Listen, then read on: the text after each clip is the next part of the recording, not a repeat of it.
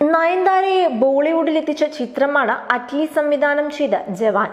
ഷാറുഖ് ഖാൻ വിജയ് സേതുപതി ദീപിക പദുക്കോൺ തുടങ്ങി വലിയൊരു താരനിരയും ചിത്രത്തിലുണ്ടായിരുന്നു.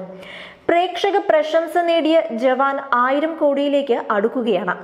എന്നാൽ നയൻതാര സംവിധായകൻ അറ്റ്ലിയുമായി അകൽച്ചയിലാണ് എന്ന വിവരങ്ങളാണ് ഇപ്പോൾ പുറത്തുവരുന്നത്.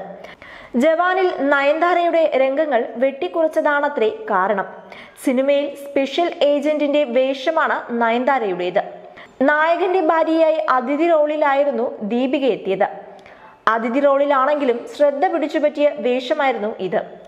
തന്റെ കഥാപാത്രം അതുകൊണ്ട് തന്നെ ദീപികയുടെ കഥാപാത്രത്തിന് പിന്നിലായി പോയോ എന്ന സംശയം നയൻതാരയ്ക്കുണ്ട് എന്നാണ് റിപ്പോർട്ട്. വേണ്ടത്ര പരിഗണന കിട്ടിയില്ല എന്ന ചിന്തയാണത്രേ അവരുടെ അകൽച്ചയ്ക്ക് കാരണം.